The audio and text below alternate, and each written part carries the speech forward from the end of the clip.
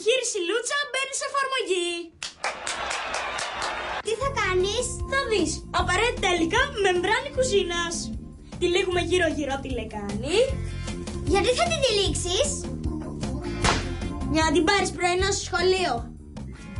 Αν την αφήσεις έτσι, θα κατουρίσει ο παπάς και... Θα γίνει η επιχείρηση Λούτσα.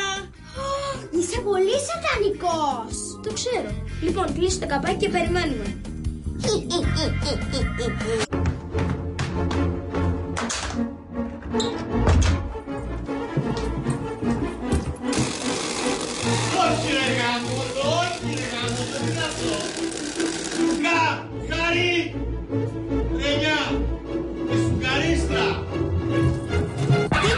Κωστάκι μου; Μια φορά ρε παιδί μου να πετύχεις το κέντρο χάθηκε.